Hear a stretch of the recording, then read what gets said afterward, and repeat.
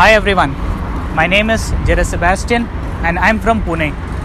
So, well, here I am standing in front of the Bogomolets National Medical University of Ukraine.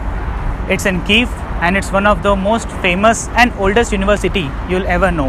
It's 175 years old and has great many structures. The building is quite divided into three parts the main building, and on my right, there's the Dean building, and on the left, there's Hygiene building. The faculty here is very good, and I am studying in the medicine of faculty. So, here there are lots of subjects, and the teachers are well pretty good trained and highly qualified. So, well, here I came through future overseas education, and here Safdar Imam helping me with out everything. Well, the consultancy here is pretty good, and that's all I want to say.